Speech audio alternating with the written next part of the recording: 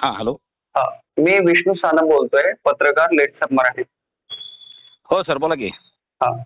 आमदार राजेंद्र राऊत यांच्याशी तुमचं बोलणं झालंय आणि मनोज जरांगे आणि त्यांच्यामध्ये जो काही वाद सुरू आहे तर तो वाद हो. मिटवण्यासाठी तुम्ही प्रयत्न करतायत. अशा फेसबुक पोस्ट देखील तुम्ही केलेली आहे आणि बातम्या पण हो. अशा झळकत आहेत काय खरंय खरंच तुम्ही भेट घेतली का दोन्ही नेत्यांची आणि काय चर्चा झाली हो मी आधी राजेंद्र राऊत साहेबांची भेट घेतली. त्यांनाही बोललो की बाबा आपापल्यात असं एकमेकांमध्ये गैरसमजातनं विरोध विरोधाला विरोध करण्यात योग्य नाही. आणि मनोजदादांनाही आधी बोललो होतो त्याप्रमाणे त्यांना जाऊन अंतरवलीत जाऊन स्वतः भेटलो. आणि त्यांना सत्य परिस्थिती सांगितली. की बाबा आपण ते राजेंद्र राऊत साहेबांनीही चांगलं काम केलेलं आहे मराठा समाजासाठी तिथं. आपल्या प्रत्येक आंदोलनाच्या वेळेस त्यांनी मागच्या हाताने मदतही केलेली आहे. आणि दादा काही लोकांनी गैरसमज निर्माण केल्यास आपण ते डोक्यात ठेवायला नको. आपल्या आपल्यात वाद नको. आणि हे असं म्हटल्यानंतर दादांनाही ते पटलेलं होतं. दादांनी म्हटले काय आमचं काय आपलं काय बांधाचं भांडण आहे का? समाजाचा विषय मी प्रामाणिकपणे स्वच्छ पद्धतीने मी समाजाचं काम करायला लागलोय. ज्यांनी ज्यांनी आपल्याला साथ देते त्यांना आपण चांगलंच म्हणणार. थोडं बहुत. विरोधात त्यांना विरोध करणार. मी त्यांना म्हणालो की आता ह्याच्या पुढे राऊत साहेब आता काही विरोध करणार नाहीत. आणि पुढे काही बोलू नाही राऊत साहेबांशी तुमचं काय बोलणं झालं? काय कसं समजावलं त्यांना? नाही राऊत साहेबांनाही मी म्हणालो की बाबा मनोज दादा जरांगे पाटील हे आपल्या समाजासाठी लाभलेलं रत्न आहे. आपल्याला. त्या व्यक्तिमत्वाला सांभाळावं लागणार आहे. मनोज दादा हे स्वच्छ आणि प्रामाणिक व्यक्ती आहेत आणि एखाद्या आंदोलनाचं नेतृत्व करत असताना बऱ्या बऱ्याच गोष्टींचं टेन्शन असते.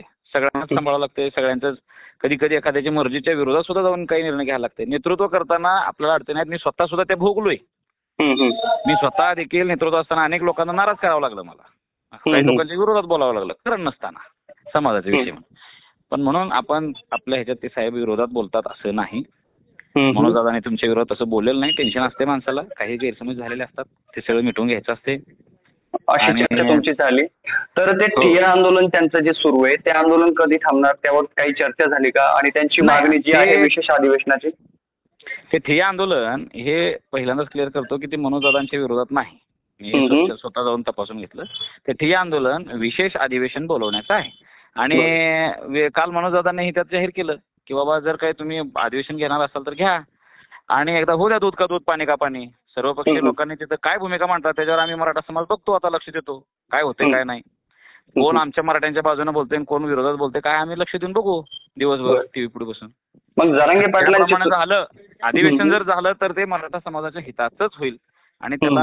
सगळ्यांचं आमचं मराठा समाजातल्या तरुणांचाही सपोर्ट असणार आहे जरांगे पाटलांचंही दिसलं काल त्यांनी जाहीर केलं स्वतः बर जरांगे राऊतांची ती मागणी आहे समजा बर. तर मग याबद्दल राजेंद्र राऊत साहेबांची तुम्ही त्यांच्यापर्यंत निरोप पोहोचवला त्यांच्या भावना त्यांच्यापर्यंत पोहोचवल्या जरांगे पाटलांची त्यांचं काय मत आलं आणि दोघांचं एकमत झालंय का या गोष्टीवर नाही ना दोघांचं एकमत झालं त्या पद्धती त्याप्रमाणे काल दोघांनी एकमेकाच्या विरोधात बोललेले नाहीत. हेही आंदोलनात होते जरांगे पाटलांची अनेक ठिकाणी सभा झाल्या.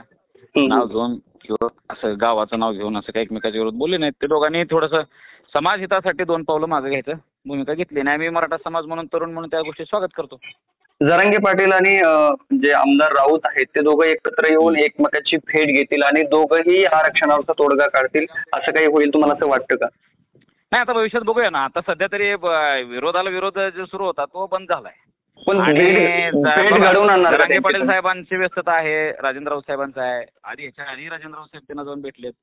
पुढे. काय होईल तर झालं तर ते होईल की आपलं सगळ्या समोर बघूया की. म्हणजे दोघंही भेट घेऊ शकतात एकमेकाची आणि मार्ग निघू शकतो. काही अडचण नाही. अहो समाजासाठी जरांगे पाटील काय स्वतःसाठी लढायला आहेत का राजेंद्र राऊत साहेब स्वतःसाठी लढायला लागलेत? काय विषय नाही ना. त्यामुळे एकमेकांना. जायला अडचण काय? योगेशजी तुम्ही आमच्याशी बोललात. धन्यवाद. तुमचा कॉल रेकॉर्डिंग केलेला आहे. तुमच्या परवानगीने. अरे बापरे. बरं बरं थँक्यू ओके